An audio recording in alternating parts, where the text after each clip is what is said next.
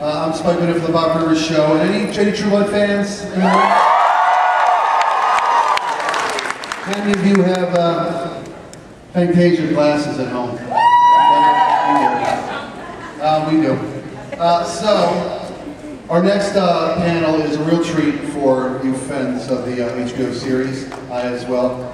Uh, I want to bring out uh, my co-host at the Bob Rivers Show. We do a morning reader show at 95.7 KJRFM. And uh, the nice thing that's happened to us in the last 20 years is your moderator uh, and my very dear friend and partner on radio. Please welcome Jody Brothers to the stage.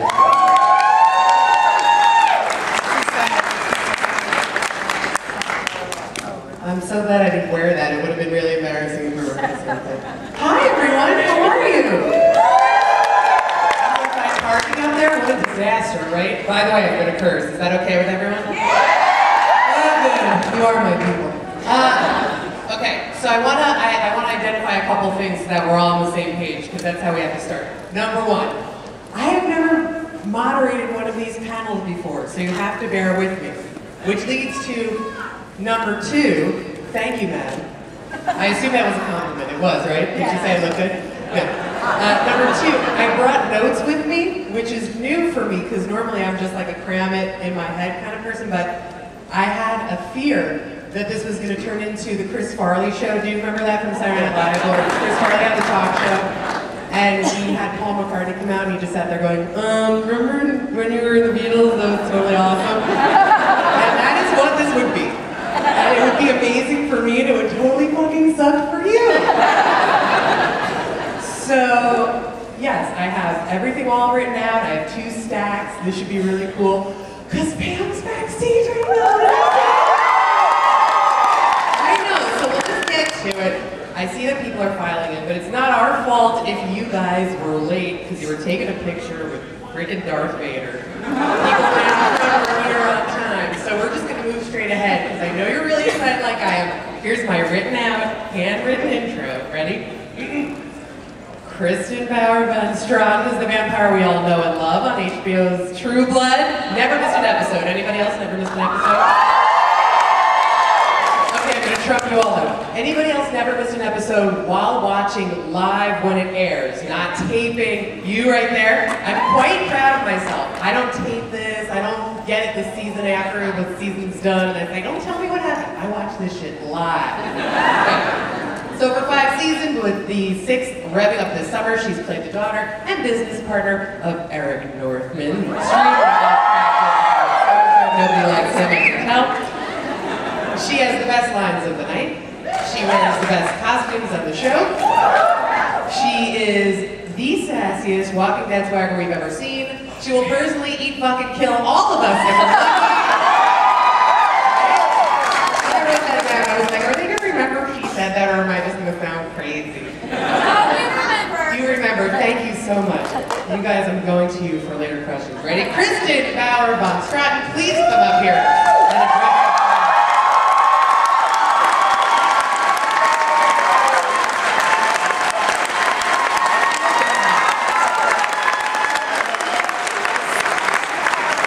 You you get that, right? I don't want to ever forget Eat Fucking Kill. That was a great She reminder. remembers too. I thought maybe you would think I was kind of weird if I would like, can you eat fucking kill us? In that order. In that order. Okay. Which actually, I mean, that's, and see, I'm already going off my notes, which is probably not the best idea. No, I love it. When you, when you pick up a script, when you pick up a True Blood script, do you look through and highlight, this is a winner, this is a winner? I mean, you do get the best lines. And you've always gotten the best lines, even way back in season one, where you weren't, you know, as huge as you were this past season. What's what's that like when you receive a script? Do you do you surf for your lines? I do, because now they come in digitally. So with Adobe Reader, there's the little find drop-down menu, and I can put in Pam and hit enter, enter, enter until I see me, me, me, me. And then, right? Let's be honest. And then, um, and then I, I now at this point, I didn't in the beginning, but I would go, that's a great line, you know, and how am I going to do it? And you're finding your way. And now I go, oh, that's good. That's one of those lines. Well, because at this point now you you know, it's been five seasons, six Yeah. coming, and Yeah. you've done Comic Cons before, and you've been doing this long enough to have met so many big fans, I'm sure. Yeah. And you must hear that from everybody. I love the way you deliver shit. Are you? Do you do you have a sailor mouth in your real life, or was this something you had to work on to really give the zing? When I was four, sitting around the dinner table with my family in Wisconsin on the farm, my mom said, Eat your beans, Chris. And I said, I'm not going to eat these fucking beans.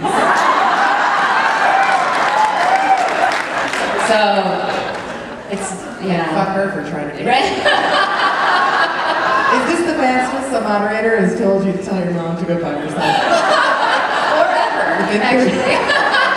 That was not on my list of things to say. We're bonded for life. I would like to apologize. um, okay, so let's talk about season six. Um, what happened? Well, there's um, probably going to be some nudity. Okay, anyone in particular? Probably everyone. Everyone. That's something. Um, is everyone writing this down? These are spoilers. little blood. Just a little bit of blood. Okay. Uh huh. Some corsets for Pam. Thank God. Because I'm not gonna let them just put a burqa on you and change it.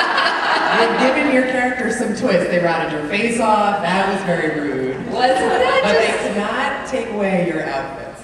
And Um, even when my face was rotting, I had false eyelashes and lipstick on, which I thought was so. Really got to try, girl. Right. So let's skip ahead. That's on my list of things to ask, but not yet. Let's see how this is going. I'm just going right off script. Um, that was season four where your face rotted off, right? Um, how long did you sit in a makeup chair to get that done? Ooh, it, it was intense. You know, the first, it was on average four to five hours, but the first curse in the woods from Marnie, where my face starts rotting and I go, "Ooh," that was nine hours in the chair. Nine hours? It was three hours where they put a little bit of rot starting, and then we went out back into the woods, and I went, and then cut, went back in the chair for three hours. So you really couldn't mess that up. I really didn't want to mess it up, and there was, I don't even know if it'd be funny to tell, but but then we went to the next stage, and then we got to the stage. I think the second stage was pulling it off. And I just kept practicing over and over because I didn't want to go through the reset. Yeah. And our sweet Masters FX guy Dan kept saying, just put your finger in the hole and push. I heard that before. And I arrived and I was like, okay, but I was so focused, I kept saying to myself, my finger in the hole and push. My finger in the hole and push. It was so surreal in the middle of the night. Well, what ha- I mean, you know, not to dwell on this one space, but what happens on a show like that when you've got, you know, hundreds of witches standing around and the whole crew standing around? Let's say hypothetically you were to mess that up and you got your oh wrong, you said oh or whatever it was. Is that that's hours that everyone's sitting around waiting for you? Yeah, and it was cold.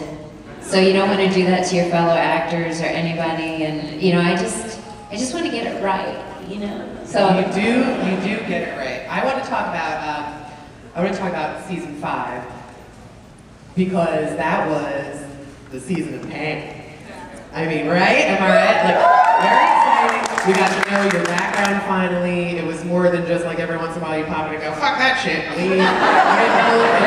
And I um, I want to focus on the costuming for when it was like it was like 1903 or 1905 or whatever it was. The costuming was beautiful, and her name on my handy notes, Audrey Fisher. From ah, Costume Life. Is she award-winning? What What is her process for you know how she designs those costumes? Because that was beautiful. she is so amazing. I love her. I mean, she's it's such a big part of Pam is the writing and the costumes, and Audrey takes so much time with every outfit, and I really, you know.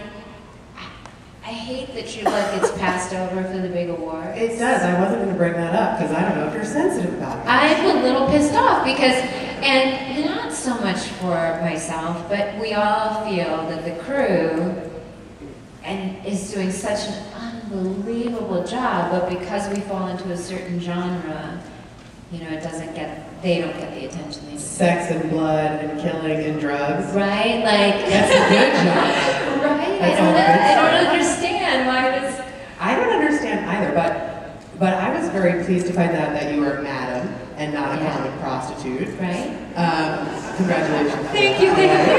um, you know, you were the boss. When you were reading, uh, I don't know if you read the books before you joined the cast, but when this was unfolding for you as you were reading it on your Adobe, as we know, Yes. were you like, fuck yeah, that's what her deal is? Like, do you feel like this is all unfolding perfectly for Pam? I thought it was so perfect and I'd waited so long. No joke. Right? And at the end of season four, we were at Comic Con, and Alan Ball said next year, "Oh, it was so sweet." We were at Paley Fest actually, and and they asked different cast members what they wanted to see on the show, and Alex said, "I want to see our backstory." And we'd been making up this backstory. I don't know what he had in his head, and I had something in my head. But when I saw it come through on the page, I just thought it was so perfect because it explained everything we know about Pam. For all of the time that you've been on the show, it does seem like you've shared the most screen time with uh, Alex Skarsgård, who this audience hates. The women, like, every time I bring his name up, they're like, Dead silent. um, yeah. is he uh, unattractive in real life? And does he smell like caramel? And also, does he talk about me? You don't have to Yeah. answer any of those, but I, in all seriousness, that, like, you guys share a lot of screen time together. You've Yeah. obviously been friends for years. It seems Yeah. like you're very close. Yeah. Um, did he teach you Swedish? I think is the question. He, you know, oh god, that, that is such a nightmare for me. So they, you know, the script will come in and it'll say the line in English, but then it'll be in parentheses, it'll say in Swedish. And I, fuck, fuck. so then I start texting and calling and emailing Alex, did you see this? And, and then calm down. And he, you know, records himself saying it in Swedish. Gross. Nobody wants to. Right? It's so gross. That's lame. I can't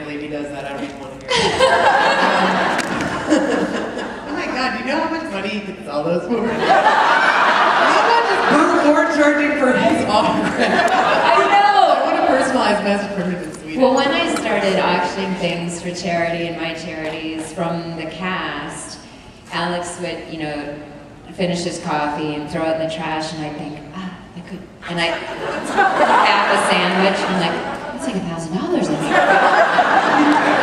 You know how many elephants I could save? But like, You know she saves the elephants, right? We're gonna get to that. That's not this stack, you guys. That's this stack. I should get to that. We have to talk about that. You are in the right place, lady. We love our animals up here. But I love uh, just a couple more True Blood questions. Yeah. Then you guys will fill in the rest of the True Blood questions when you get the mic time. Um, are you vegan or are you vegetarian? I'm actually vegetarian, and I aspire to be vegan, and am vegan when I'm not traveling. It's completely impractical. We're not going to blame you. Uh, it is. Are you? If there's any vegans in the audience, you guys are great. It's nothing against you, but it's really impractical. Um, for for you, are you grossed out by the amount of gore, albeit fake gore, on the show? Like, can you even bear looking at all that blood? I can handle human gore. People gross. Yeah. One last question about True Blood, and then we can go on to the animal stuff because I don't want to get too far away from it before uh, we potentially run out of time, which should never happen. But can you tell us how you originally auditioned for True Blood? I, uh, it was towards the end, we had like three years of striking. So the writer struck, the director struck, actor struck, and so it was very hard to work for quite a long time. And once auditions started happening, it was really a relief. So I got a call to go in to read for, you know, the manager is very excited because his job is to get you these auditions. So he'll call and go, oh my God, you're going in for Alan Ball, and like stop talking because I have to go in and get into the room and not be too nervous. And then he goes, it's HBO. I'm like, oh my God, it's vampires. I was like, stop talking. so Was that, was that a positive for you? so positive. Like I was in an Alan, but you know. Yeah. And then HBO, I've always loved, and I used to watch Deadwood, Yeah. and uh, that's favorites still, and I used to think, wow, to be on a show like that. And Alan Ball was Six Feet Under too, right? Yeah. Maybe the greatest series before True Blood, and Right. potentially the series finale was like one of the best moments on TV. You know. Unbelievable. Yeah. But back to Blood. In American Beauty, Yes. I mean, I was in it. Ah, so so I I was just oh wow, and then vampires. Like, oh my god. And they usually I didn't have a history of getting cast for tough characters, and I I just thought that it was this one thing, and you know they would never. You don't look like you can pull a knife and stab me right now. Right? I believe you can now that we've spent some time together. we talked a little before we. I She'll got- stab you. Oh yeah. She will. She'll stab you, but nicely. Not personal. No, of course it's not personal. It's business. it's business. So then I, it was really sort of, not really even a scene, it was sort of snarky Pam quotes kind of cut together. So I just went in and did them, and then they called three weeks later and said, would you come in and do them again? Well, they had put me on tape, they had recorded the audition. And so you know when you have to come back, when they can just rewind the tape, it's because you did some things right, but they're on the fence. So it always makes me nervous because I don't know which of the things were right and which of the things put them on the fence. So it's like Price, The Price is Right, where Totally. they've guessed all the numbers, but then they know that one is wrong, so they start rearranging numbers and they don't know which one. yes. Is this the common metaphor that you get? you- Do you guys know what I'm talking about? Where they're like, you know, twenty-three thousand two hundred ninety-four dollars. They're like, one is wrong. Right. Like, shit, I really want that geometric. Right, and then or 800 cans of tuna or I something. Right. Whatever it is. Whatever it is, and I wanted this. So I go, why? Why are they having me in again? And sometimes it's because they add more people in the room that will decide, and they want to see you in person. No, same people. Fuck. Uh, well, let me look at the tape. You know, why do I? No, they want you to come in. Okay, so I went in, I did my thing, and I thought, oh, that's pretty much what I did the first time. So and then I went to the Philippines for a month to do a movie and forgot about life. I mean, it's so different to go to the third world, as you know. I do. Yeah. Three dollar massages. Like for six dollars, you get two people. Two people massage. You get four hand massage. Four hands on you for six dollars. Yes. And I hadn't. Uh, I. This is really. We really should be alone and not with microphones. Pretend like they're not here. Okay. Tell me what happened. I've been single for way too long. Go I on. that four hand massage. Everyone be quiet. Tell me a private story. I was sure I was gay. And then someone said, Were your eyes open? I go, No. Maybe I am still straight. I don't really care. In the Philippines, I'm here for month. Whatever. What happened in the Philippines? What cost happened? eight dollars. But four hands, Seriously. right? An enormous tip, $15. What's happening now? This is not on my notes. It was awesome. Awesome. So then I get this text, You got true blood. And I'm like, What's that? I better put my clothes on. Yeah. I'm in love with two Filipino women, I'm pretty sure. So, But screw you guys, I have to go back to LA. Good luck with everything. and then my manager was like, it was the HBO Vampire Alan Ball. I was like, oh my God. So I flew back in and, you know, I finally had adjusted to the Philippines time zone, which is opposite ours. And then, you know, a 94 hour flight and I get off the plane and they send me over to m- get my fangs made. So it was like, you know, the whole dental, Yeah, because those are those are the real deal things. You're not used to deal. having those in. no. They look kind of painful. I bet it's hard to actually talk without stabbing yourself. It is. The first day when I was going to wear them was also Alex's first day. Gross. Stuff in his Gross. mouth. Ew. Go on. Did he need your help? Wait, I know what you're gonna say. He needed your help putting the fangs into his mouth, so you did that thing where you just stick your finger in his bush. Which he doesn't find strange at all. his mouth. Yeah, he's totally used to me doing that by now. So gross. It's gross that you're friends with him. Go on. So go about your fangs. So I saw as he was finishing, I was showing up, and I said, "Did you did you talk with your in?" He goes, "Yeah."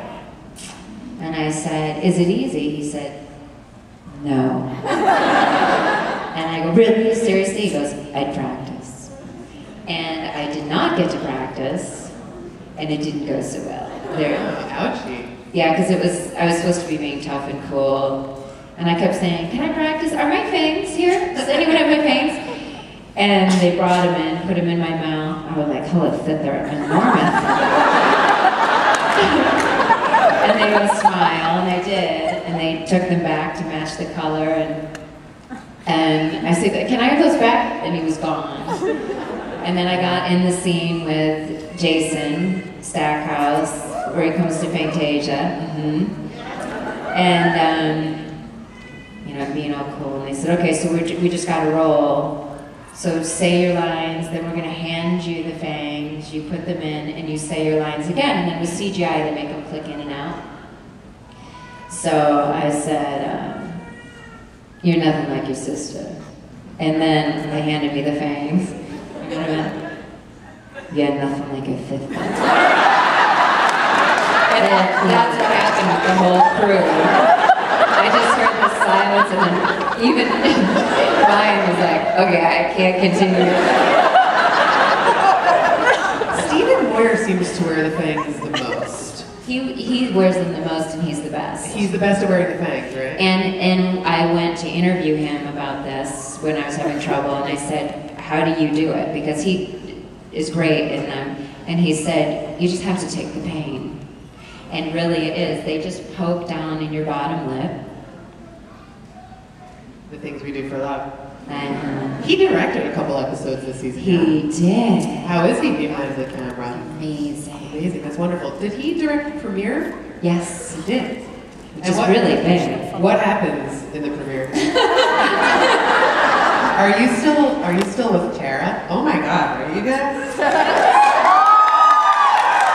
we're supposed to be talking about We're supposed to be talking about let me just say that when you guys started making it, I was like, oh my God, right? That was exciting. When you got in the script, we were like, oh my God. Did you guys like text each other and oh my? Was there a lot of what I just said? going? Yeah, uh, yeah, we, we did do a bit of that, and then um, you know on the day we, I mean, we both got stomach aches from all the mints because we didn't know exactly when the kiss would happen. So we'd go back and, and we'd be popping mints, and then they go, no, no, we're gonna cut before the kiss. Okay, you know. We were we knew that Pam liked gals because Yeah. it's been going on every once in a while during a season. You'll be like sucking some poor girl's thigh out. We're like, Right. oh, Pam, you're so Oh. Pam, you went to the Philippines, didn't you? The Filipino leg sucking. All right, so we'll get off True Love for a while until everyone wants to ask their True Love questions. But you know, um, in doing my research for this this panel, I discovered so much about you that I was not aware of. I mean, you are a jewelry designer, you're a painter, you're a writer, um, you are a huge animal activist, and for me, there's so much I want to talk about. So I guess before I start peppering you with my thick stack of questions. Maybe I should just ask you if there's anything specific that you want to make sure you mention as far as your foundations, what you raise money for. Um, is there anything specific that you want to make sure you mention before I ask you leading questions about wrong things? Well, the main thing I'm working on right now, which has been all consuming, started on hiatus last year, is I went to Africa for a month. It was so great. She says she cries a lot in her real life, so just let her go with it. Yeah, I do, I terrible. I cry like 50 times a day. And uh, you do? Pipe down over there! Well, it's still like my time! I'm just kidding, it's okay. She's probably crying now. she already crying. Tell us about that background. So, um, my husband's from South Africa and his family's from. And I had also, through working with this animal rights group, IFAW, International Fund for Animal Welfare, they, this, they had this dinner in Hollywood for just like 10 Hollywood people. And They serve tigers and elephants. they That's served, a joke, you guys. they served endangered species, and it was awesome. It's a joke because it's Right. obviously not true. And it all tastes like She's an chicken. animal activist. They don't do that. And so this really amazing sweet dude from Kenya, we're in the middle of this dinner, the end of this dinner, and he says, you know, I came all this way because my elephants are dying, and I need your help. And I'm like, who, who, me? No, he can't be me. Like, I pray to God he means someone else because I'm really fucking busy and and I live here in the United States, so the fuck am I supposed to do about elephants in Africa? And for the next few months, I started looking online about what was happening to the rhinos, and I watched rhinos go extinct in Africa, and for their horn, and I thought, oh my god. And I just kept looking and looking, and then I thought, well, what the hell can I do about it? So we ended up going to Kenya and shooting. I took a camera crew and my husband, and we just went and talked to people and asked Africans, so what's happening and what can we do to help you?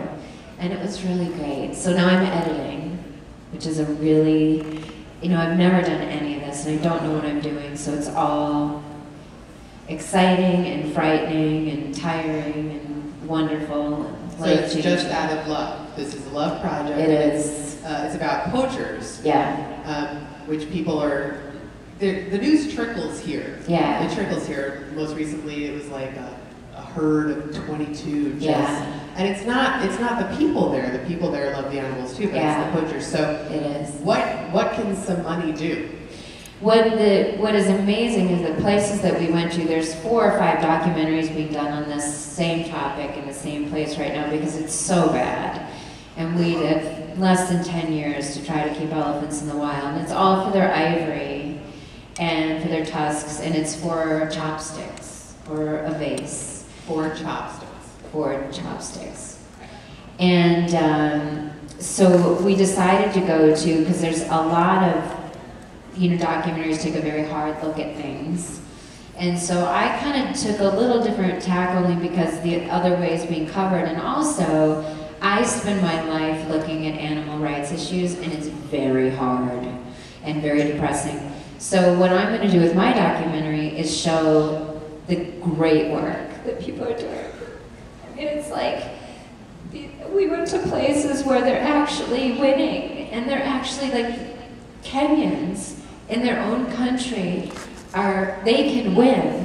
They just need 50 bucks for shoes, you know. They don't need much and they don't want anything. They don't live the way we live. They don't care about things. Their idea of success and happiness is not our idea of success and happiness. I realized as a Westerner, when I think and I dream, I think of success and I think of my mortgage paid off or whatever. They, they don't. They just sort of live with their wildlife and with each other in a completely different, magical way. And they're happier than we are. I couldn't believe it. It obviously had a, very profound It was effect on wild. you. Did this surprise your husband at all? You said he's from there. Yeah, and he is different than I am. He's not Western. And, um, but he's from South Africa, which is, you know, feels pretty first world.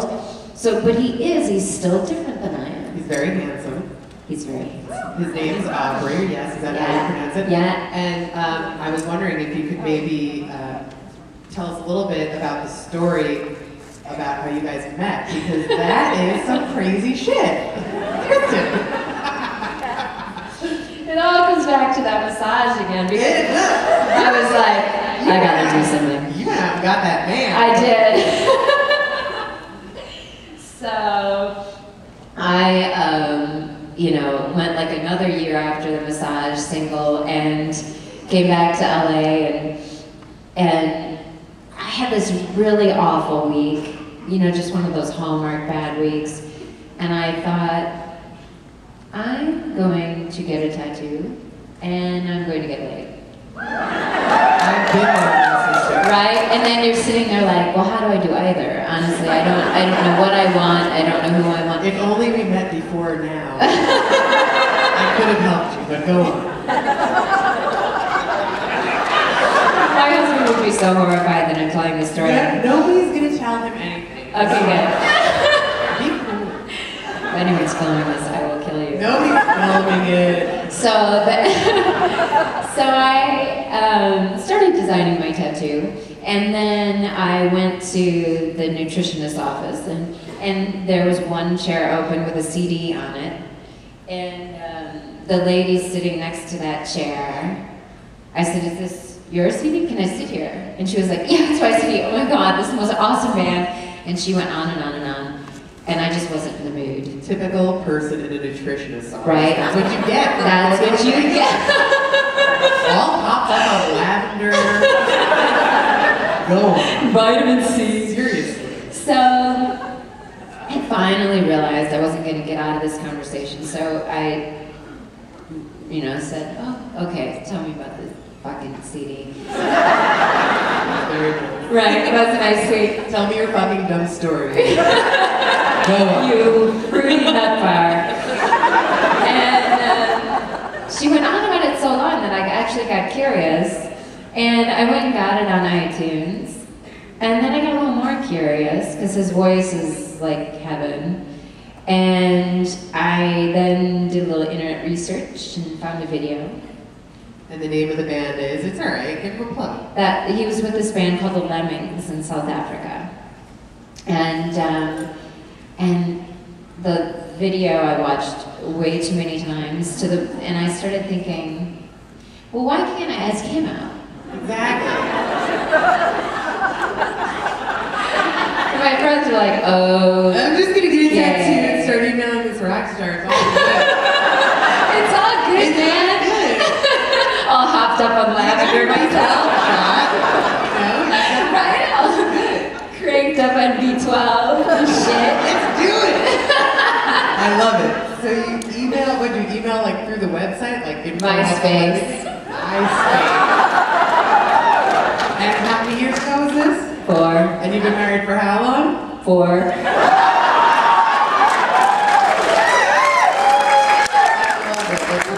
Now, does that mean that people can email you through your website and you will?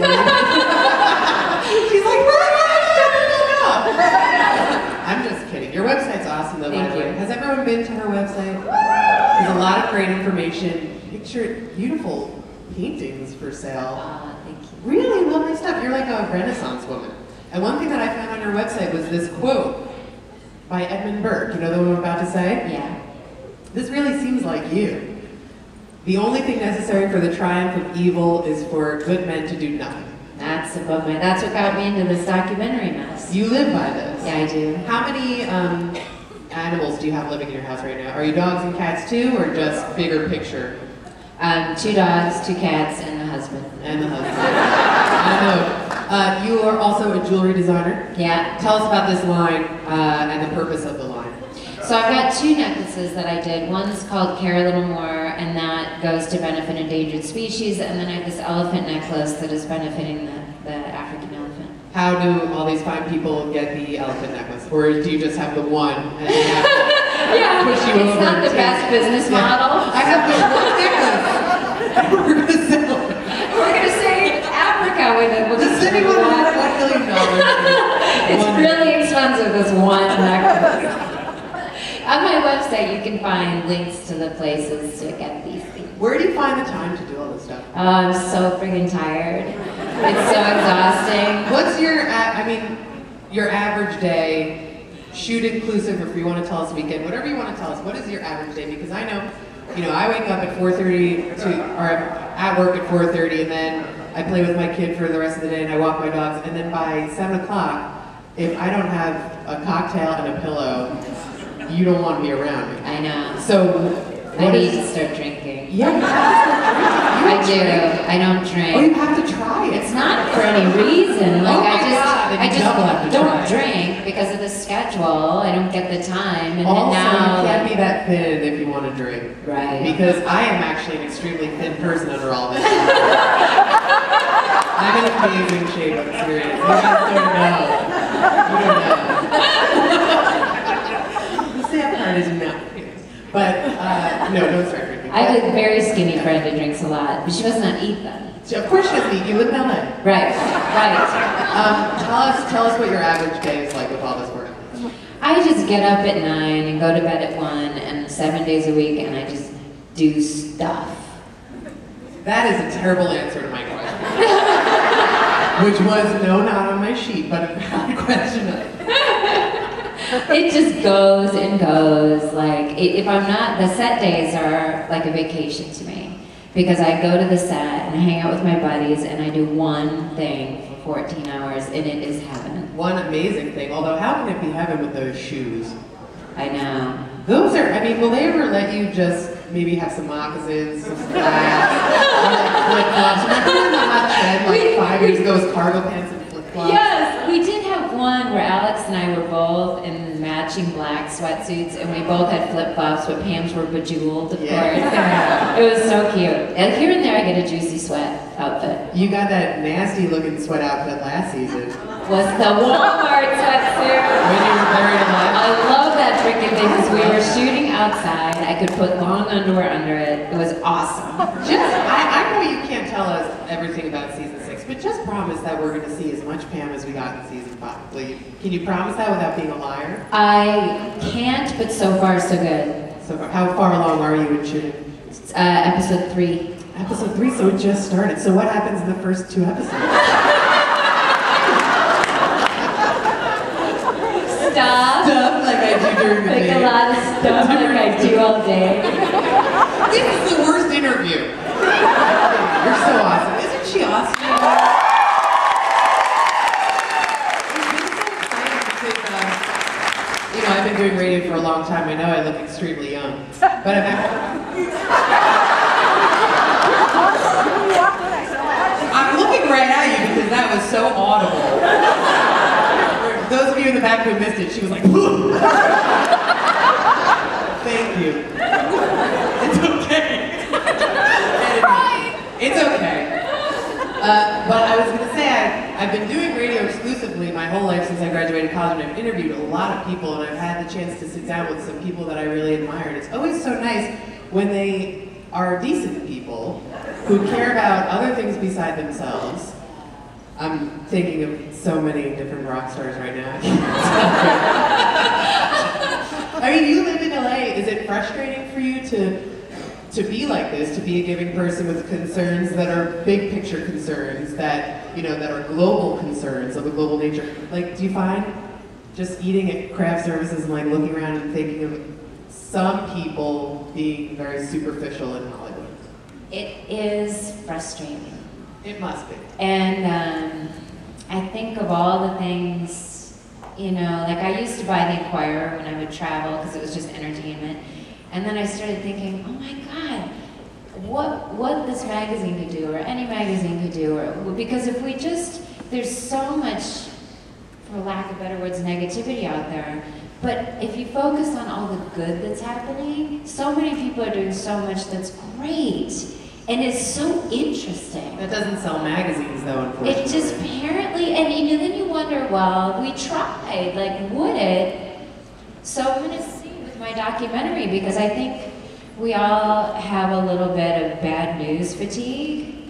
So I'm supposed to be watching other documentaries all the time, and I just can't even face it sometimes because it's just bad. It's hard to see suffering in the world, and so I'm going to try to go the other way. Like, let's look at all these fascinating people, the Jane Goodalls. Well, that's a great intention. I like what you said earlier, and I meant to, to bring this up because as a concerned animal as a concerned person for, you know, with various causes, I still don't like to watch documentaries that make me I feel sad. know. I mean, like the PETA stuff that they send me all the time. I look at it, I'm like, oh my god! Like, Oh I don't like to watch the oh slaughterhouse video. No. Inc. made me sad. I mean, Yeah. it's, it's hard, it's hard to be strong enough Yeah. to keep your eyes open. It is, stuff. and I watch that stuff every day, and it's really.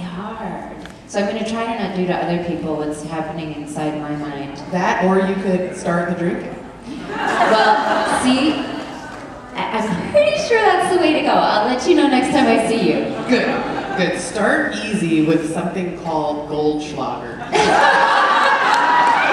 Trust me, it's got real gold in it, Christy. Shocker! I'm not feeling super optimistic. I'm kidding, no Goldschlager. I went to a big time college and I was a bartender. Now, I'm concerned right now because I feel like I should be telling people to go to the microphones if they have questions. If, is this how it works? Where are the people that are That no, that know? Because I feel like we clearly don't. Well, someone is like, oh, we're going to give you a signal, and then you will transition people to the microphones. But I never saw a signal because I was so intrigued with you. And so now I'm thinking, we've gone on for quite a while, and I have not said, if you have a question for Kristin, please head to one of the microphones. And I apologize in advance if I heckle you, but it's definitely going to happen. Okay. Sure. All right. So now you people already knew. I was the only one who didn't know. Uh, let's. I'm sorry, madam. We're gonna go with the pregnant woman first. Is that? Oh, you got the little ass kicker in there. I see. It's Walking Dead. That's not a real baby. You're not pregnant, you liar.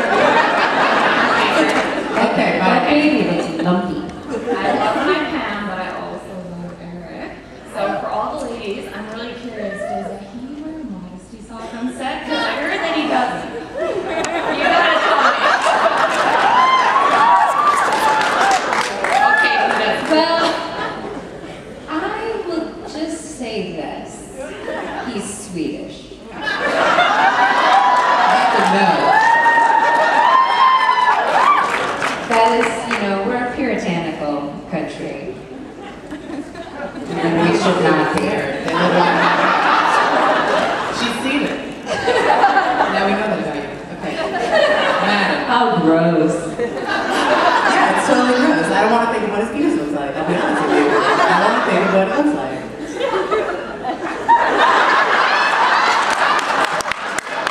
Is that on radio?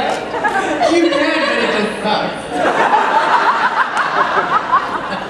I didn't say I've been doing good reading. Madam, by all means. Yes, so I have a question about um, your relationship with Eric, Pam and Eric. Um, it's super intense, and I wanted to get an idea from you what it was like when he released you, how that felt personally, because I know not only on screen, but you can kind of tell that there's really a love there. So what was that like for you on screen and off screen? hated it. Sorry, I don't make you cry. Oh, No, that was a good Right, I really, when I got the script and read it, I cried, and then the table read, I cried, and then in rehearsal, I cried. They're like, you should save it. You know, and then, you know, when the camera was on my back, I cried, and so yeah, I really felt it. For, for whatever reason, I don't know, I just really felt it. Felt like the end of something. Yeah, Felt like the end of something for me too. right? And obviously for you. Yeah. Yeah, it was Like big for us. John Somebody else is in, so. We didn't want Alex and I on the day. We're like, we're not going to shoot it. We won't do it. You guys locked yourselves together in a room. yeah, we won't come out. Thank you. Yeah. Good question. I have a question regarding the cosmetic line of True Blood and the perfume. Yeah. Um, my stepmom got it for me for my birthday because she knows how much I love your character. I'll say something snarky and she'll say, where in the hell did you hear that? And I'll be like, oh, it's Pam. I like she, she goes, it's Pam. that is the second we start rehearsal. I don't know what that is, but So when she saw the perfume, she got it for me, like right away. And from what I read, it's inspired by your character. And I wanted to know if you actually had an on any of the cosmetics or perfume. It's true that you spit in all the perfume bottles. I'm, I'm adding on. I'm allowed to do that. that is my influence. my DNA. Yeah, I um, didn't have any influence on it, but I was involved a little bit in the marketing of it. They they had included me in that, and it was really interesting because I met the people. It was done by the Borgheses, and they. I mean, the amount of work in two years of trying, and they would use these words. I'm not in the perfume world, and I don't usually wear it, so it was. They call it notes. There's a note of this, and there's a note of that, and it was so thought about and carefully done, and and also really lovely people who are also trying to save things, and it was really fun. It was great. Yeah, and I know the design, the look of the bottle was very pretty and really thought out. Definitely. Thank you. Yeah. Your stepmother sounds nice. Hello. Hi. I was wondering if there was a particular moment in your life that you could recall that was a catalyst towards becoming a vegetarian or getting interested in animal rights?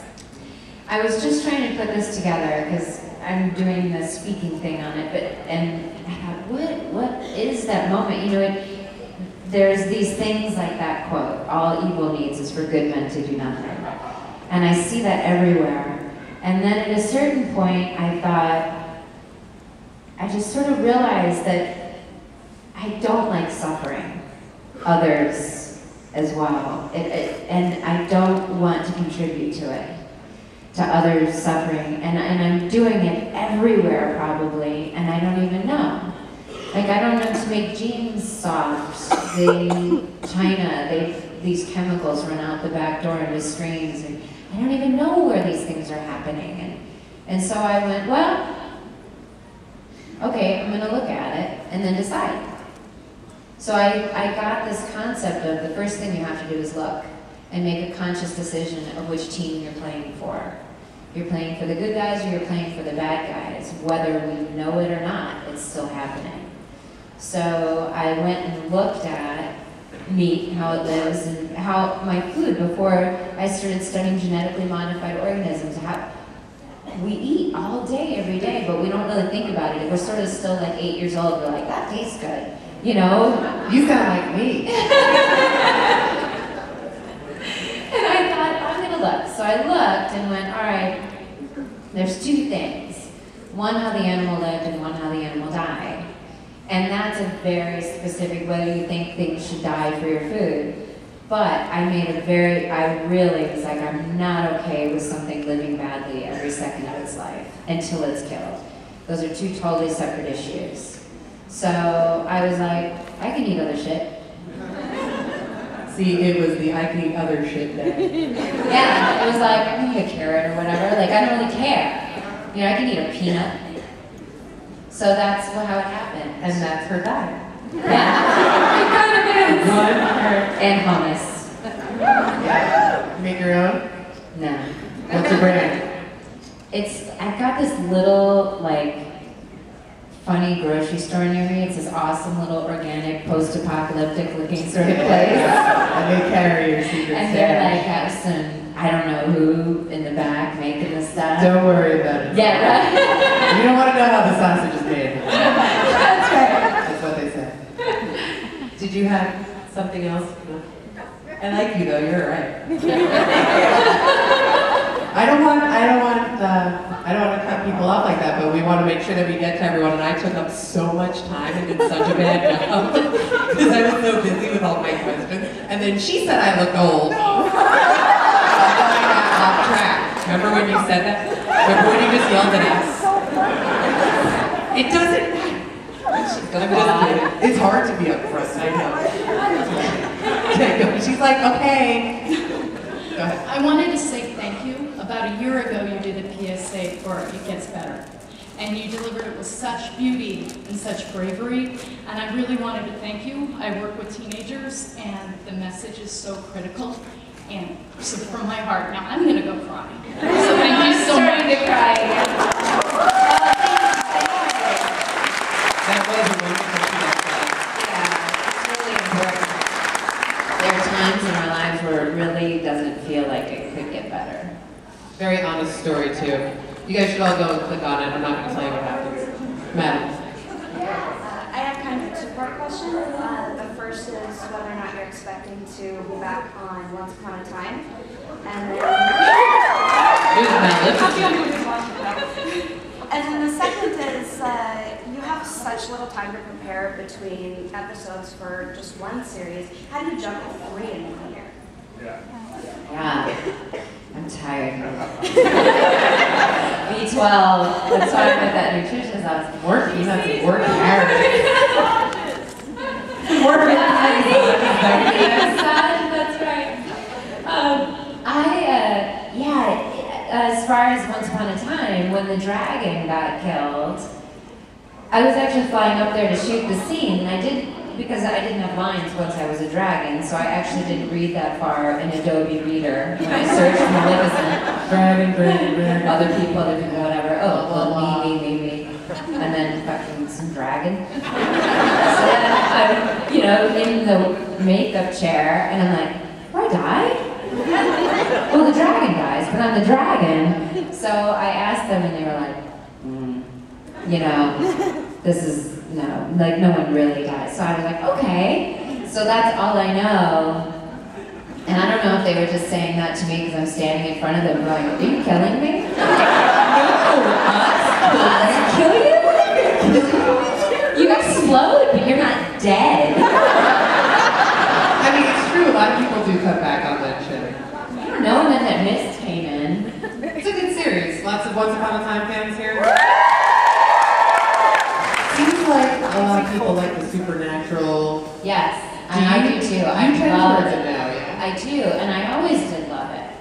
I really, I mean, I, there, I love a lot of things, but I love, um, I mean, those are the books that I read. I like science fiction, and and so it's really fun to be on these shows that do this. I mean, Once Upon a Time is a green room and two chairs. It's really bizarre. And then as far as preparing, you do get better at, for one with Pam, I've been playing her for a while, so it helps. But still, they write new situations where you don't really know. And luckily on the set, we work it out together. And it must take you some time to get into those outfits. All I, It I'm being serious. I mean, that's a lot. of Like I have a dresser. You do? Yeah. It, is it a gay man? it has to be a gay man because the way really it's a Girl. woman. It's a woman. Yeah, Your dresser is amazing. yeah, I, I know, right? I mean, it does help that you know it's down south and Yeah. you know you're really the only one who's got kind of a flashy here. You Uh-huh. ever look at yourself and think, I'm going to bring this home because my husband has to see this one in person? I feel so oh. bad for him. Like he watches the show and I'm sitting there in my sweat. He's like,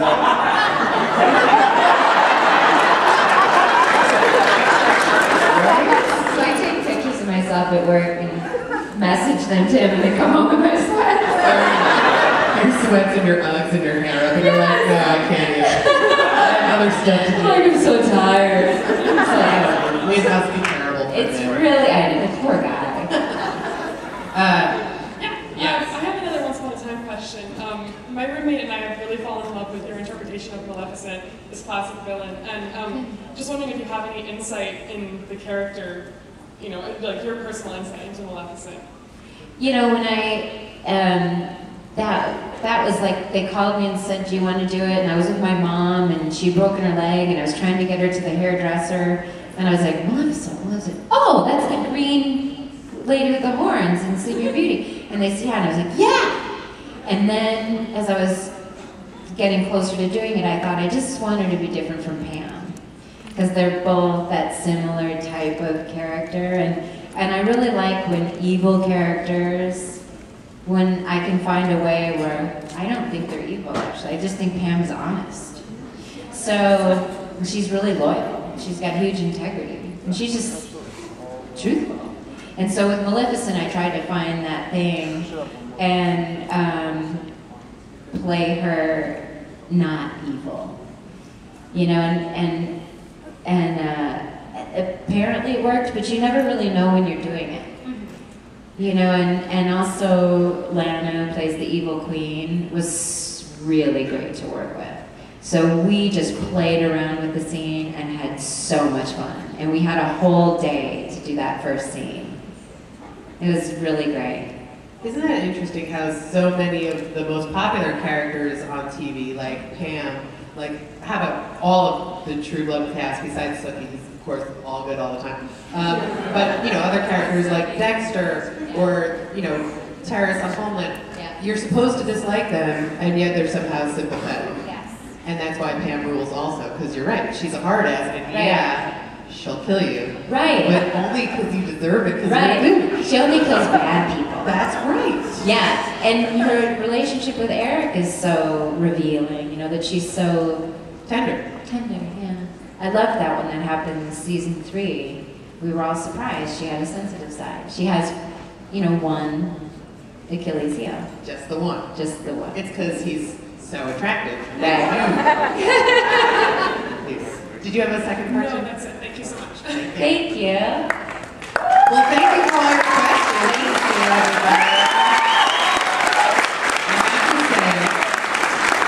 Uh, really positive experience for me. For me too. And I want to thank you for your honesty and for coming out and telling us all your business. your sexy time business and also your important work that you're doing. And I hope that everyone will take some time to check out uh, Kristin's website and support some of the efforts because we've got our own dialogues going on here with our you know, elephants in our zoo and GMOs, and this, these are current important Seattle topics, yes. so you can totally move here if you want.